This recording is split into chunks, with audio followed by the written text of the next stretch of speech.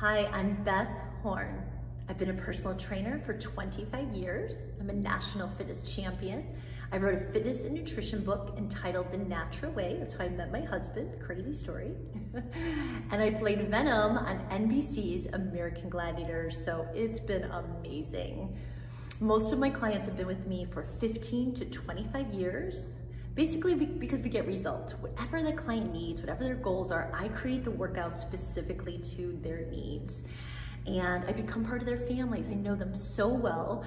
And to help them mentally, physically, emotionally, and spiritually is just a, a, blessing, a gift. I'm so, so lucky to be doing what I'm doing. And I love them. I love my clients and I love what I do.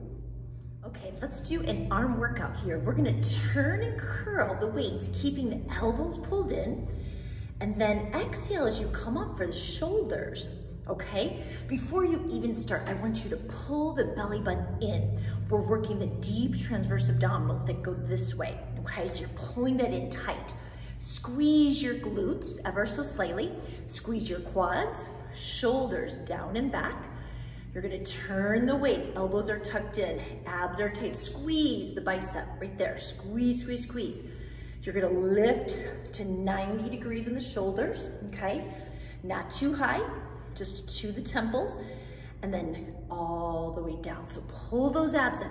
Turn and curl, squeeze the bicep, exhale, coming up. Pull the abs in, come down, pause here and all the way down. So we're using full body, especially the abs, while you're getting a great arm workout. So that's the way to do it. Awesome job.